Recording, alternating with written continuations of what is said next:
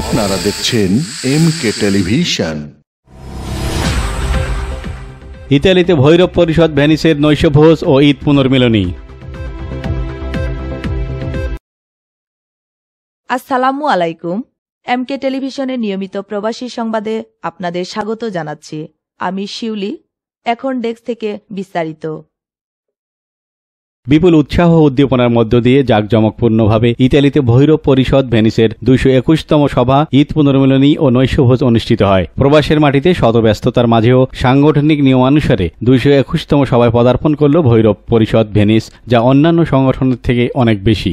জনপ্রিয়তা এবং গ্রহণযোগ্যতায়ও ভেনিসের বুকে রয়েছে শীর্ষে। মৃত ব্যক্তির লাশ বাংলাদেশে প্রেরণ সহ প্রতি বছর শিশুদের নিয়ে কোরআন তেলাওয়াত, প্রতিযোগিতা, ওয়াজ মাহফিল, সাইকেল ভ্রমণ, বার্ষিক বনভোজন, সমুদ্রবিলাস, শিশুদের শিশুদের চিত্রাঙ্কন প্রতিযোগিতা, ম্যারাথন দৌড়, বৈশাখী মেলা, সকল জাতীয় দিবস পালন, ইংরেজি নববর্ষ বরণ, ইফতার ও দোয়া মাহফিল, পাহাড় ভ্রমণ সহ নানা আয়োজন করে থাকে। গতকাল তারই ধারাবাহিকতায় প্রায় শতাধিক ভৈরব পরিষদের নেতৃবৃন্দের উপস্থিতিতে ঈদ পুনর্মিলনী ও নৈশভোজ সরগরম হয়ে ওঠে গোটা রেস্টুরেন্টের হলরুমে। প্রবাসের এই ব্যস্ততম সময়কে পাশ কাটিয়ে সকলের সরব উপস্থিতিতে অনুষ্ঠানটি শেষ পর্যন্ত পরিণত হয় ভৈরব পরিষদের মিলন মেলায় অনুষ্ঠানে উপস্থিত ছিলেন পরিষদের ভারপ্রাপ্ত প্রধান উপদেষ্টা তোষণ খান সংগঠনের আজীবন উপদেষ্টা কাজী আব্দুল মান্নান, মোহাম্মদ আবুল কাশেম, মোহাম্মদ মুসামিয়া নুরুজ্জামান মোহাম্মদ, শহীদুল শহীদ সংগঠনের সভাপতি কাজী আবদুল্লাহ আল রোনাক, সাধারণ সম্পাদক শহীদুল ইসলাম, সিনিয়র সহ সভাপতি মোবারক হোসেন সহ সভাপতি মহিউদ্দিন মানিক, জয়নাল আবেদিন, নবী মিয়া, যুগ্ম সাধারণ সম্পাদক সেলিম হোসেন, সাংগঠনিক সম্পাদক আফজাল আলী, প্রচার সম্পাদক সানি হক, সাংস্কৃতিক বিষয়ক সম্পাদিকা নাসরিন জাহান মনি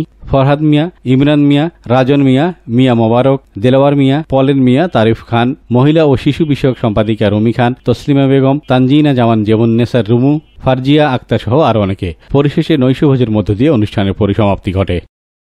এম কে ইসলাম বাবু, প্রবাসী ডেস্ক, এম কে টেলিভিশন।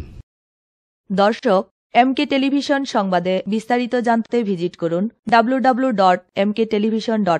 এই ঠিকানায়।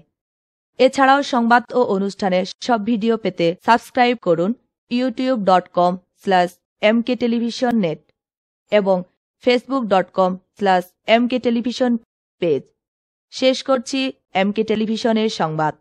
এতক্ষণ সাথে থাকার জন্য সবাইকে অনেক অনেক ধন্যবাদ।